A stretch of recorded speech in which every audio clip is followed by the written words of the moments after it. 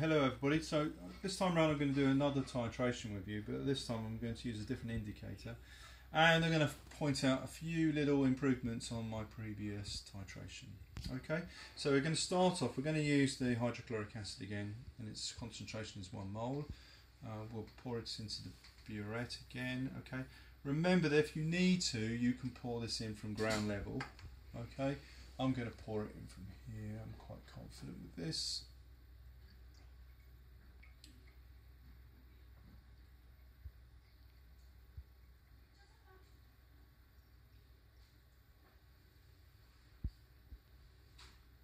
Okay, and I think I've just got it pretty much on zero.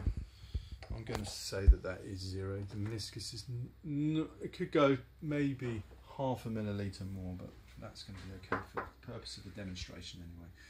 Right, okay, so that's our hydrochloric acid in the burette. Now, one thing I didn't say to you earlier is that one reason I won't, I wouldn't put the sodium hydroxide in there is, I don't know if we can see on the camera, but sodium hydroxide is not a particularly soluble substance. You can see there's a lot of deposit and debris at the bottom. And if we use this in the burette, it can block up the little taps here and stop them working properly. Unfortunately, exam papers don't take account of that, and so on exam papers they quite often put the sodium hydroxide in the burette. But that's just an exam paper, it's not doing it for real. Um, okay, so we're going to stick our um, conical flask underneath. And uh, again, something I didn't mention last time, the reason we use a white tile on the bottom is so you can clearly see a colour difference. Okay, So the sodium hydroxide we are going to suck up with our uh, pipette filler. I called it a plunger earlier. It's a pipette filler. Okay, um, we'll use the 20 ml uh, flask again. Just be careful when you insert this over that you don't snap glass on there. It can be quite fragile. It just needs to push in gently. Okay, and if I squeeze here and suck up, that then release and it creates a vacuum. Okay, pop the pipette inside there and push this little thing in there. It's labelled S and that will gradually fill up. Be careful, this fills up more slowly and then it will shoot up the narrow part. So as soon as you filled up the big bulgy bit, slow down and then up to the top. Right, now, this does not need to be removed. I'm, I'm, I'm in the habit of removing it and you guys, when you come back downstairs and have proper lessons, you'll realise we've got a superb new technician and she's pointed out to me that the empty here is used to just lower this and look at that. Brilliant. That's sitting perfectly on the meniscus. So, um, we're going to pour that in our conical flask. So we'll just press the empty and it just pours through.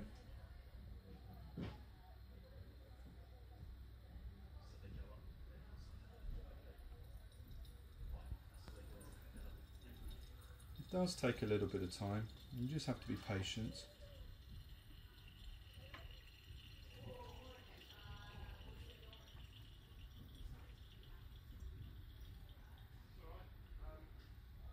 Now the best way to get the last bits of dregs out is not to tap like I did earlier, it's just to touch the end and the liquid, most of the liquid will come out. Okay, so that's that done. Now I'm just going to pop that back on there and I'm going to keep the plunger on. That will also remind me that it's this particular pipette that I'm using and I can reuse it again with, for that plunger. Right, okay, so that's going to go underneath my burette. And I'm going to use an indicator that you probably haven't used before that's called phenolphthalein. There will be a spelling test. Here we go.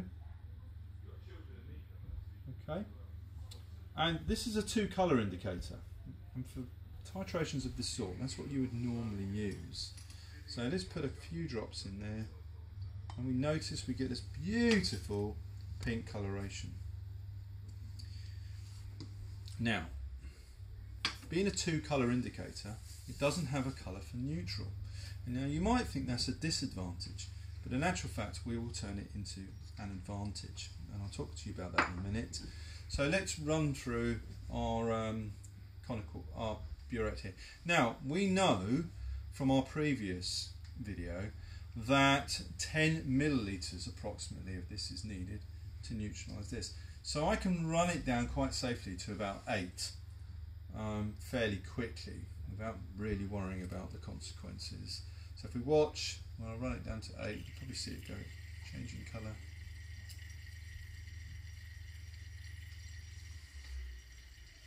Okay, so that's sitting on 8, and if I swirl it, it's still pink. Okay, if I add a little bit more and go to 9, give it a swirl. Now I'm going to add it in little um, volumes at, a time, small volumes at a time. And I'm looking for a colour change.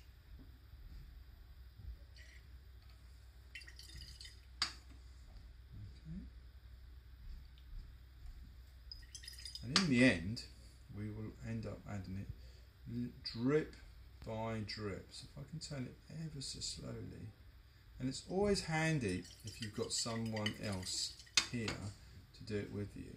Because look at that, that's almost changed. Give it a shake, and there we go. It's completely changed, it's gone clear. As I said, it's a two colour indicator. So this is pink when it's alkaline, and it's completely clear when it's acidic. It has no colour for neutral. Let me talk about why that's an advantage.